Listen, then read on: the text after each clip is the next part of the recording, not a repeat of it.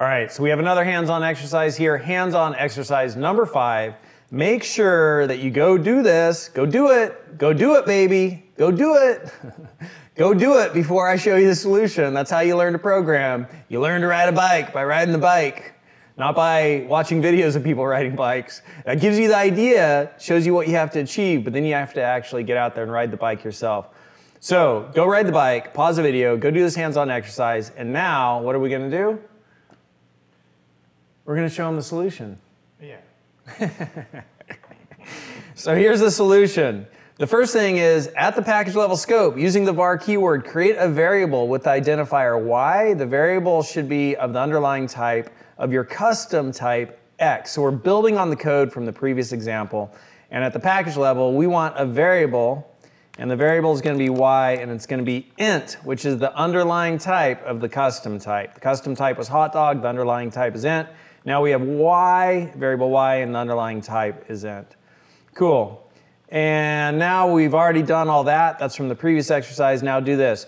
Use conversion to convert the type of the value stored in x to the underlying type, then use the short declaration operator to assign that value to y. Print out the value stored in y, and then format, print out the type of y. There we go. So I just added those in. You do not get docked down for not knowing that if you did it yourself because I just added it. You probably hit that error that y was an unused variable.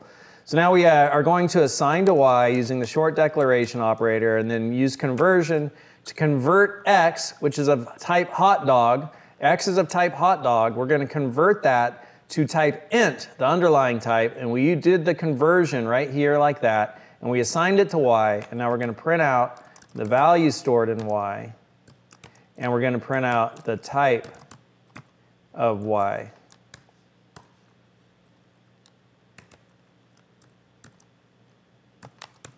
I think that's all correct.